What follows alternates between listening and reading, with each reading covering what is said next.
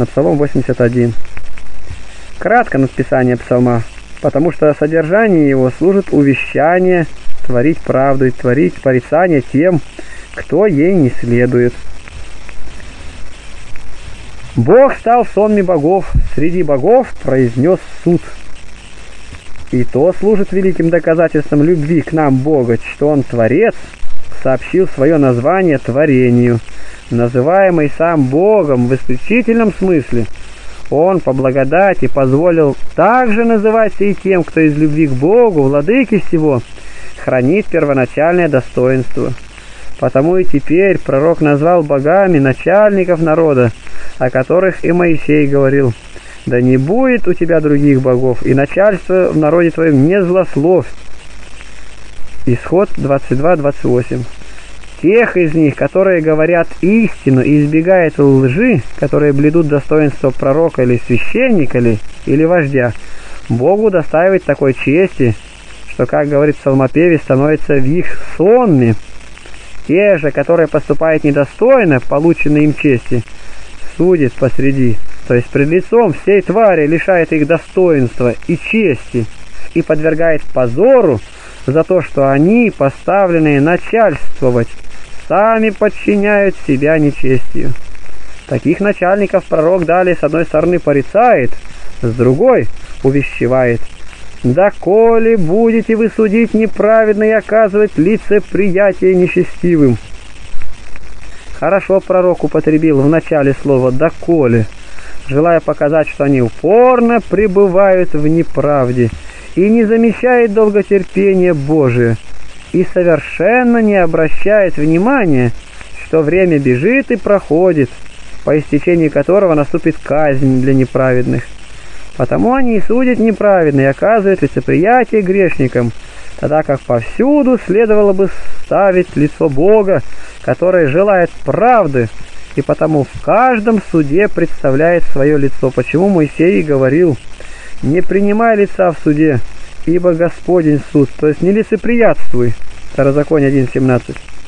Почему пророк говорит, лица грешников принимает?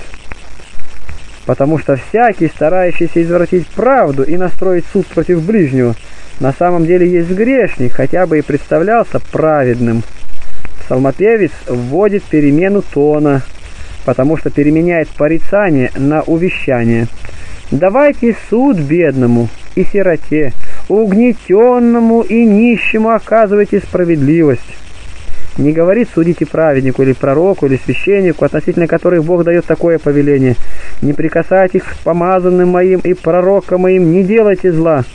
А Сиру, говорит, и убогу, смиренному, и нищему. Почему? Потому что они обычно терпят обиды, как и Павел говорит. Для чего бы вам лучше не оставаться обиженными? Между тем для них крайне тяжело терпеть обиды вследствие слабости, происходящей от возраста и бедности. Поэтому и законодатель особенно заботится о них. Избавляйте бедного и нищего, исторгайте его из рук нечестивых. О радующихся по поводу неправды и обиды говорится, как о диких зверях, почему в другом месте и сказано «Подстерегает в потаенном месте, как лев в влаговище» подстерегает в засаде, чтобы схватить бедного, хватает бедного, увлекая в сети свои. Псалом 9.30. Поэтому тот, кто спасает бедного, получает честь и награду пастыря, разумеется того пастыря, который предал себя за нас, избавил нас от мысленных зверей, а кто причиняет вред и обиды, ставится в ряд зверей.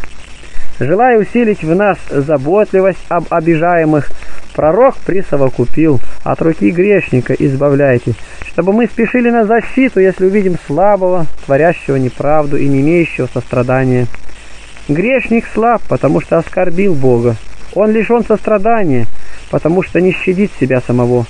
Если бы он имел сострадание к себе, то и не грешил бы. А так как он лишен его, то тем более не щадит ближнего не знает, не разумеет, во тьме ходят, все основания земли колеблются. Чего не познали? скоротечности настоящей жизни, непостоянства человеческой жизни, не познали того, что, присоединяя к полям поля и к домам домы, они часто собирают сокровища для врагов. А чего не уразумели? Того, что, заботясь о благах ничтожных, они лишают себя благ великих. Потому они и ходят во тьме нечестия, стыдясь прийти к свету, ибо всякий, делающий злое, ненавидит свет, как говорит Писание.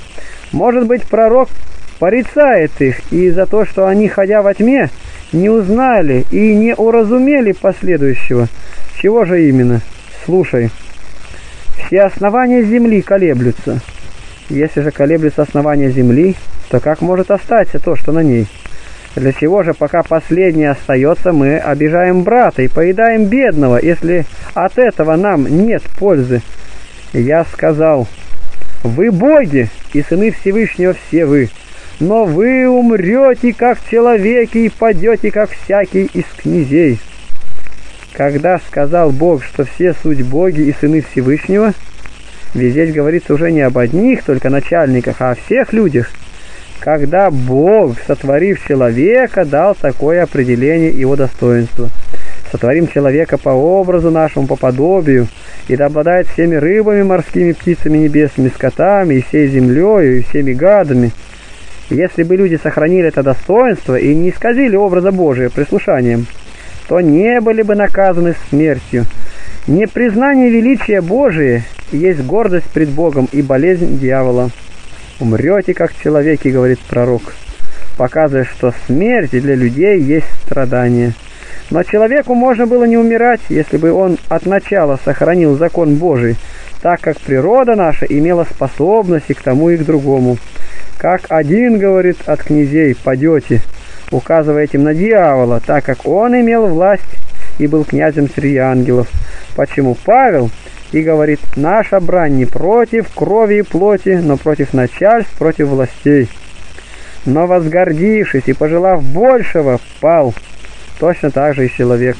Услышав слова змея, будете как боги, потому что знает Бог в день, в который вкусите от дерева того, откроются очи ваши, и будете знать добро и зло.